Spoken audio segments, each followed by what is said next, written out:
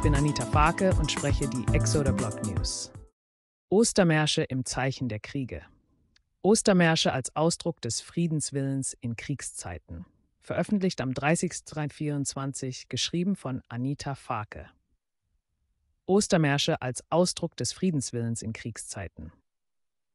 An diesem Osterwochenende waren die Straßen Deutschlands wieder mit Menschen gefüllt, die sich in friedlichen Märschen gegen die andauernden Kriege in verschiedenen Teilen der Welt aussprachen.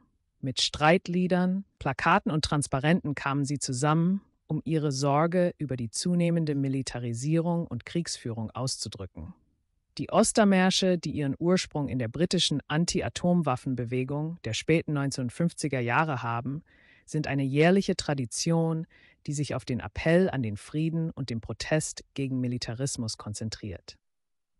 Inmitten der anhaltenden Kriege rund um den Globus haben diese Märsche in diesem Jahr eine noch größere Bedeutung erlangt.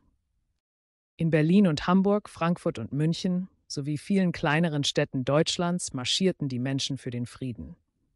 Die Botschaften auf den Bannern reichten von Frieden statt Krieg bis hin zu konkreteren Aufrufen für das Ende von Rüstungsexporten und die Abkehr von militärischer Intervention. In ihren Reden betonten die Redner den Wert des Friedens und die Dringlichkeit, sich gegen die aktuellen Kriege einzusetzen.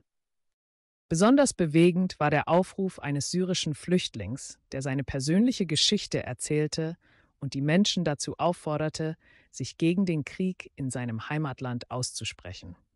Die Ostermärsche wurden weitgehend friedlich und ohne größere Zwischenfälle durchgeführt. Die Polizei berichtete von nur wenigen vereinzelten Auseinandersetzungen und die Mehrheit der Teilnehmer respektierte die Auflagen zur Einhaltung von Hygiene- und Abstandsregeln im Zusammenhang mit der anhaltenden Coronavirus-Pandemie. Obwohl die Märsche in diesem Jahr erfolgreicher waren als in den vergangenen Jahren, bleibt die Frage offen, wie viel Einfluss sie auf die Politik haben können.